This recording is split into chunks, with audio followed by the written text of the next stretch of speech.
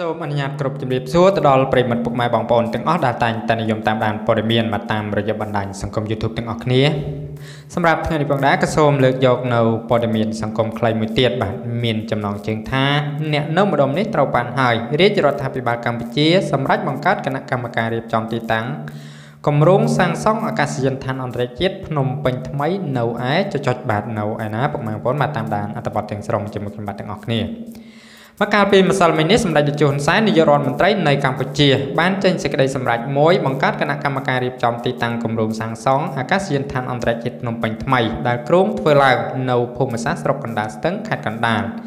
ភារកិច្ចរបស់គណៈកម្មការរៀបចំទីតាំងគម្រោងសាងសង់អាកាសយានដ្ឋានអន្តរជាតិភ្នំពេញថ្មីរួមមានពិនិត្យនិងកំណត់បាទយាមការទីតាំងសម្រាប់គម្រោងសាងសង់អាកាសយានដ្ឋានអន្តរជាតិភ្នំពេញថ្មី សិក្សាវិតម្លៃថ្លៃដីនៅតំបន់គម្រោងសាងសង់អាកាសយានដ្ឋានអន្តរជាតិថ្មីសម្របសម្រួលដោះស្រាយបាទបញ្ហាពាក់ព័ន្ធនឹងទីតាំងដើម្បីបង្កលក្ខណៈដំណើរការគម្រោងសាងសង់អាកាសយានដ្ឋានអន្តរជាតិភ្នំពេញថ្មីសម្របសម្រួលជាមួយក្រសួងស្ថាប័ននិងអង្គភាពពាក់ព័ន្ធរបស់រាជរដ្ឋាភិបាលនិងក្រុមហ៊ុន ដើម្បីដំណើរការអនុវត្តគម្រោងប្រព្រឹត្តទៅដោយជោគជ័យផ្ដល់អនុសាសន៍ដល់ក្រុមហ៊ុនក្នុងការបំពេញបែបបទផ្សេងៗដើម្បីឆ្លើយតបតាមតម្រូវការសម្រាប់ការអនុវត្តគម្រោង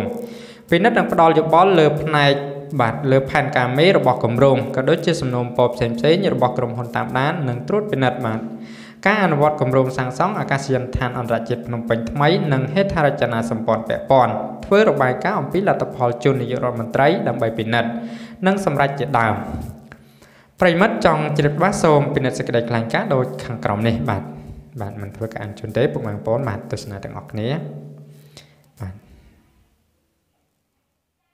បាទកាន់តែច្បាស់មែនតើណាពុកម៉ែបងប្អូនបាទមានត្រាមានអីត្រឹមត្រូវពីនាយករដ្ឋមន្ត្រីបាទ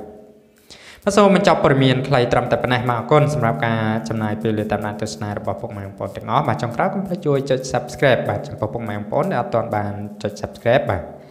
ដើម្បីទទួលបាននៅព័ត៌មានក៏ដូចជាចំណេះដឹងថ្មីៗជាបន្តបន្តពី Channel របស់ខ្ញុំបាទបាទអរគុណសូមជម្រាបលាមកជួបគ្នាអត្ថបទថ្មីទៀត